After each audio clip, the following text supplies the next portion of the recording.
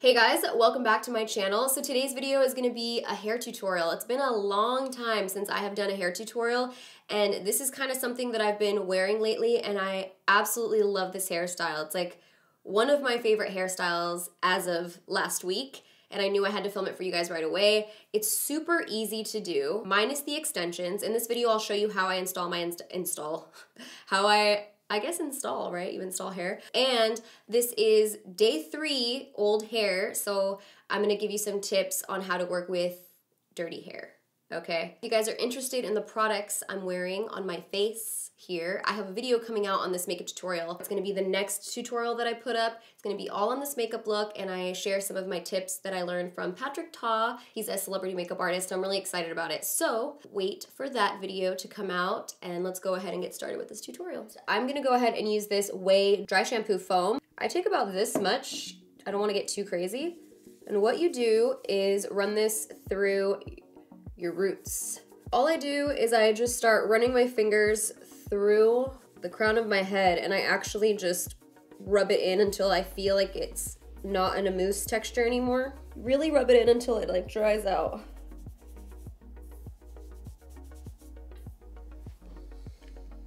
And then look at what happens.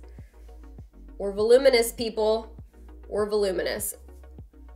My hair looks really crazy right now, I am aware. You know, my hair is like super, super, super crazy looking. So see how that gave us a whole set of volume? That's what we want. I'm gonna take the front of my hair, pull it down, clip the rest back. This is an important step for this hairstyle, I feel like, because you wanna have a nice swoop to your hair. Whether you have short bangs or long bangs, you can do this. If you don't have bangs, just pull the front of your hair down, whichever part is gonna swoop, right? Because that's important for this hairstyle. So I'm gonna take the brush and blow this out in a downward and inward motion so that I get a lot of volume. So here we go.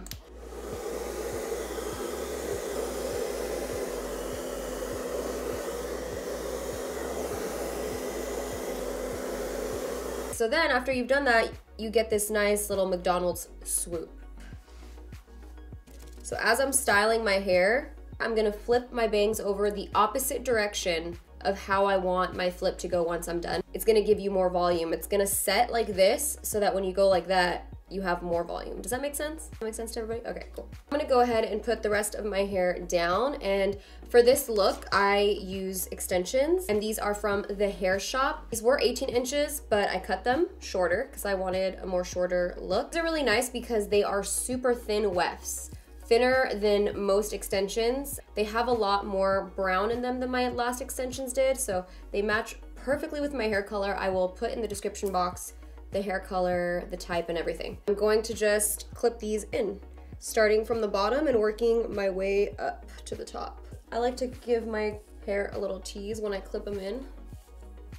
Boom. I'm gonna start by using this three clip weft, bring that to the bottom.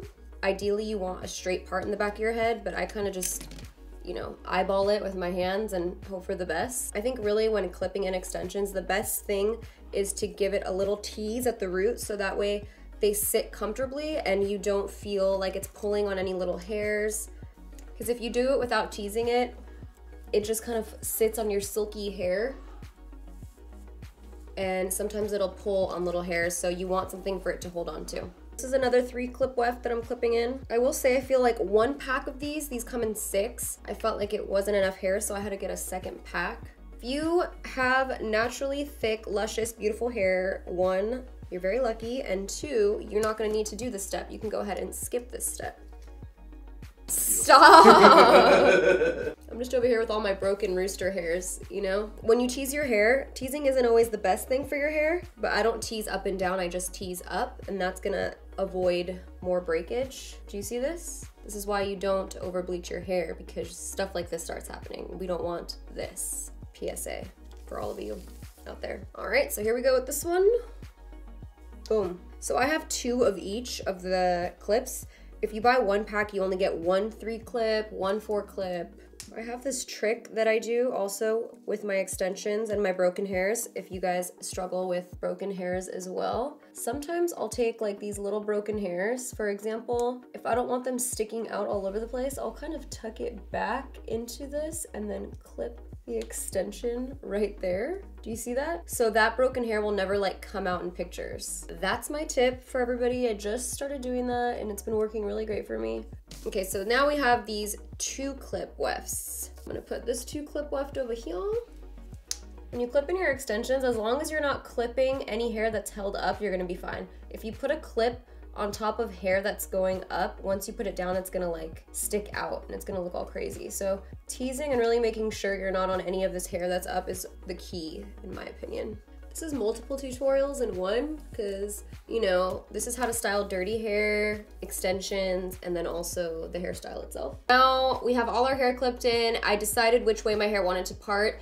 I know my hair is temperamental. I don't really decide which way it wants to part. It decides which way it wants to part. So if your hair is like that as well, then just keep that in mind play with it and see which way it looks better. If you guys notice, I already have that swoop and that's from the blow drying and that's very key to this hairstyle in my opinion. Now I'm gonna go into the curling of it. I'm gonna part about half of it up and just clip it back. The curling iron that I use is also key, like this size. I'm gonna have to put in the description box what size this is, but this is from Conair. I love cheaper curling irons. I just feel like they always come through for me. And this one, I love it so much because it gives the perfect soft wave. It's not too tight, not too loose. It's just perfect. This one is Conair Infiniti Pro. So I'm gonna grab one section of my hair. This is about an inch to an inch and a half chunk of hair. And I'm gonna place the barrel closer to the top and give it one twist away from my face and hold it for like a second or two and then slide down to the next inch slide down to the next inch and kind of just run it all the way down, but keep the least amount of heat on the ends. Like I'm kind of just driving by the end. It's a quick drive-by. This is what we're looking for, this kind of curl. It's very effortless. It's almost like a blowout type of curl. Let's try this again. Start with the clamp at the very top almost, away from the face. Hold it there for a few seconds. This is where I hold the curling iron the longest because the top is where I want most of the volume. And I slide it down slide it down. The rest is really quick and then barely any at the ends. Very soft, romantic. Let's do this bottom piece. And it's a quick hairstyle to do. It takes not that much time at all because you're not holding the curling iron for that long. So holding it the most here, away from the face, and then once I get to the end, I just slide it through.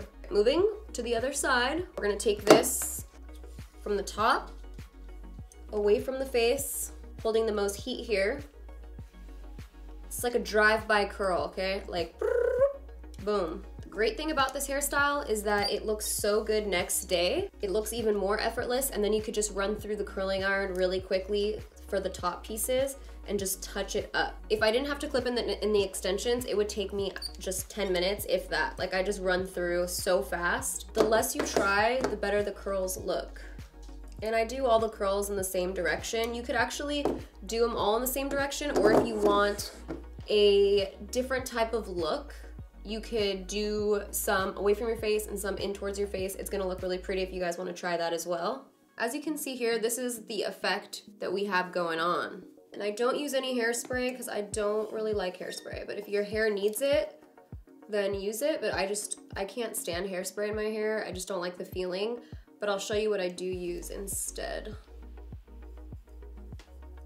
I kind of do this little, you know, shh with my fingers. I don't know why, but I just see hairstylists do it to me when they do my hair. So I'm like, let me do it as well. See what happens. You don't want a super tight curl. You want this to look effortless. So that means that you want a lot of space in between the curls.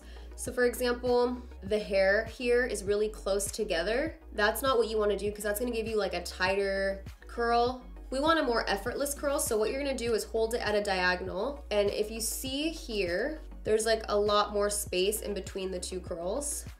I feel like that's the common issue with a lot of styles is that they'll hold the hair too close in the curling iron. Not a bad thing, but it's not what you want when you're going for effortless curls. Do you see what's happening here? Things are happening, starting to shape up. The top of my hair, since I have such short pieces here, so I don't wanna curl the base of this. Every other hair up until the top, I've started really closely to the root, but I feel like when I try to do that at the top, my short hair becomes shorter and it doesn't really blend with the extensions all that well. So I like to start at the very bottom just in this section. because I don't want the top of my hair to be super curled. I get these broken hairs, mix them with my extension hairs, twist them a little bit, use this friction method. I don't know what it is, but I twist them together so that they kind of blend into each other and give me that like wind blown type of look. See what I'm saying? Like a like there's a fan under me. So now we're moving on to this side. This is the last part of the hair. Same technique. I just put my bangs back right now so that I could get to all these hairs underneath.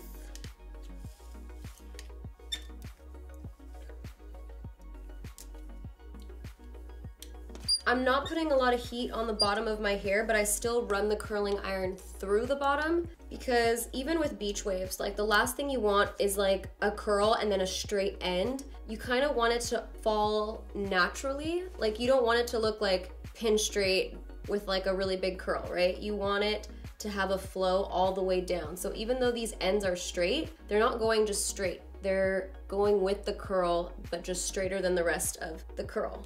All right, now we're putting down the bangs and look at what the bangs look like. And this is purely because one, we used that dry shampoo foam, which gave us a lot of volume, but also because we round brushed it and that's gonna give you that swoop the way I round brushed it. That's a very important key to this hairstyle. You could even take your curling iron, be very careful, but like run it through your baby hairs up here if you have any going on.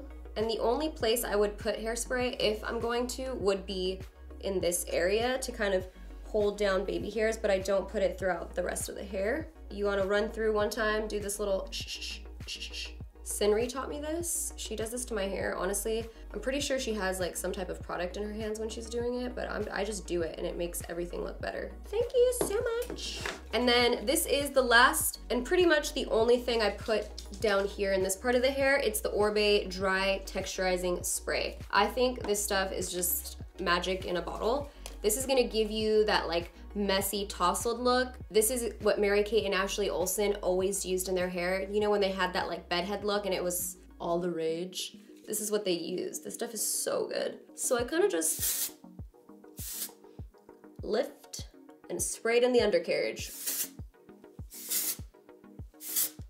All right, I'm pretty, this is it. I think I'm done. So this is the finished hair look. I love this hairstyle so much. It literally is just so feminine. It's so pretty. It's easy to do. You can wear this hairstyle for three days straight. I swear and touching it up is gonna be so easy to do because it's quick. So let me know what you guys thought of this video and if you want more hair toots. This is one that I'm really, really liking right now. If you do recreate it, tweet me your photos of your hair. I'd love to see how it turned out and if those little tips really do help you guys. Uh, yeah, that's everything. So I hope you guys like this video and I'll see you in my next one.